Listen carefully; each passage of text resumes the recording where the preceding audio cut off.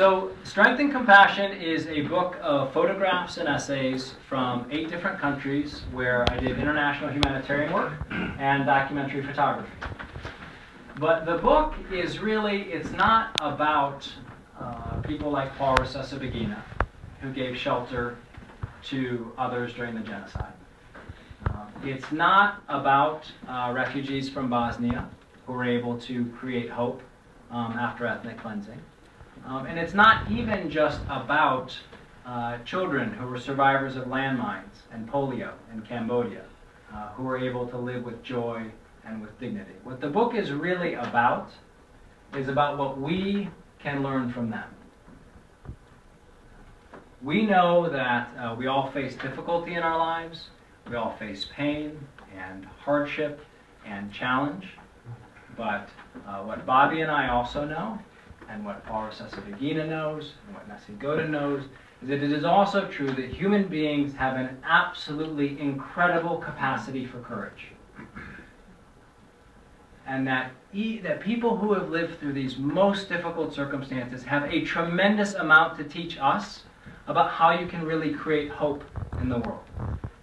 And that's what strength and compassion is about.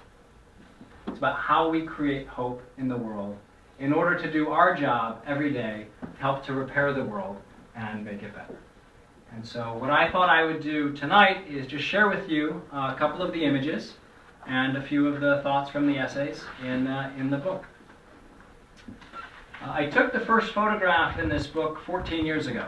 And uh, this is, is one of those first photographs. These are Bosnian refugees um, getting off of a bus that had been chartered by the United Nations. Uh, they have just arrived in the Gasinci uh, refugee camp.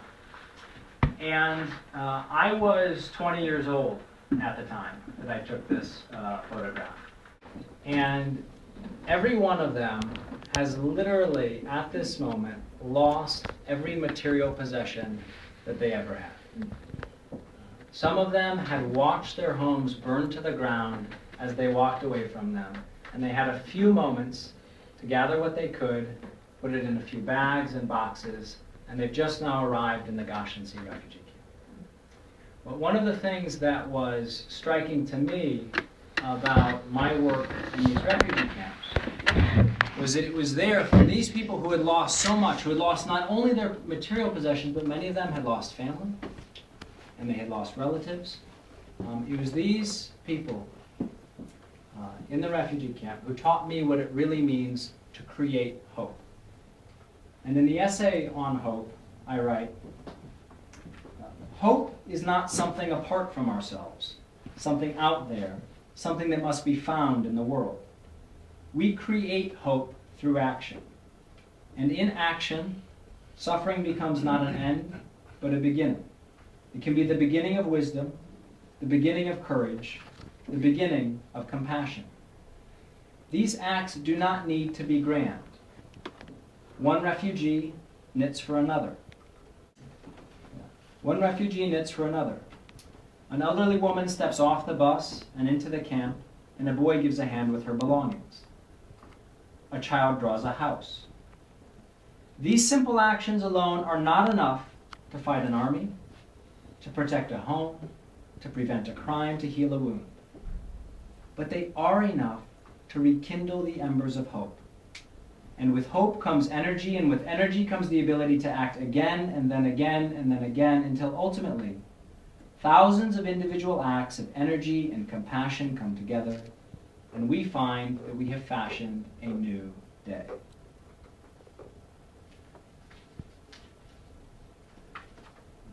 In the essay on strength, I write a lot about neighbors um, because there were uh, folks like Paul Rusesabagina and others in Rwanda who gave shelter to their neighbors. And one of the things that was striking for me uh, when I was in Rwanda was that um, so much of the analysis of what happened there involved an analysis of twisted notions of race and ethnicity, uh, people looked at the colonial history, they looked at uh, the inaction of the United Nations and of the superpowers. But what was so striking to me was when I was actually in Rwanda, was that almost everyone who talked to me told me a story about their neighbors. And it was neighbors and friends who made a difference.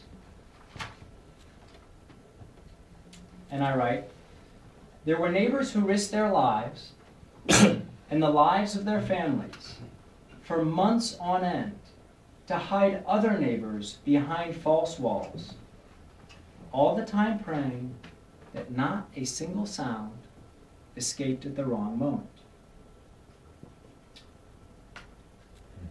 Where do people find the strength to make the right decision at the critical moment? Where do we find our strength? I relate um, in the book uh, one story from my experience there. right? I remember standing outside a healthcare clinic in Rwanda, and another volunteer pointed to a young girl with a deep machete scar that ran from behind her right ear across the back of her neck. We look at a scar like that. We reflect on the evil that was the human hand that created that scar. And we can be tempted to walk away from humanity altogether. But when that same child smiles at us, when that same child lets us know that she has survived and she has grown, then we have no choice. We have no choice but to go forward in the knowledge that it is within our power and that the world requires of us, of every one of us, that we be both good and strong.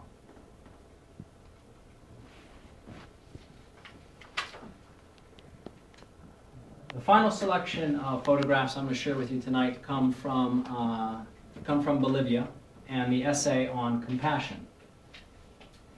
Um, in, when I was working in Bolivia, I did work there with uh, street children. And I write in the book, there are hundreds of children who live on the streets of Santa Cruz, Bolivia, commonly referred to as niños de la calle, children of the street. These children spend their days shining shoes, begging, selling gum and cigarettes. Some of them have small cardboard or corrugated metal shelters where they can sleep at night, usually in groups, and often surrounded by dogs for warmth and protection. Yet there are also people there in Bolivia, as there are good people here, who dedicate their entire lives to caring for those children. Um, and in the book I write, and when the children were taught art, it was, for many of them, the first time they learned that they could create beauty in the world. When the children were cared for by adults, it was, for some of them, the first time they learned that strength could be used to comfort. Part of the power of compassion is that it allows us to love others despite their faults, which is at least in part how we each need to be loved. Children of the street are not angels, and compassion is not blindness. Compassion is, however, a kind of daring. To love is to risk, and in being compassionate, we dare to love even though we know that love will bring with it disappointment and pain, as well as joy and happiness.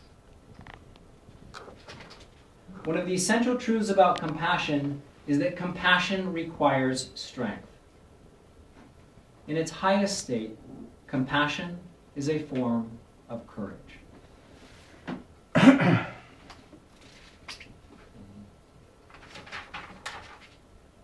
now, these are just a few of the thoughts and a few of the images from Strength and Compassion. I hope that you enjoyed them. And, uh, and I really, I want to thank you all for coming tonight. Because one of the other things that I've learned about making a book is that with a small group of really dedicated and, uh, and wonderful people, it is possible to make a book. Uh, but to really make a book matter, right, to really bring it out into the world so that it has an impact and so that people see it and know it, that takes a far larger group of friends and supporters. And Strength and Compassion will be a successful book um, if the people who read it and are touched by it find uh, strength and compassion in their own lives. And so I want to thank all of you for, for being here to really help us give birth to, uh, to the book and to set it free and to put it out into, into the world.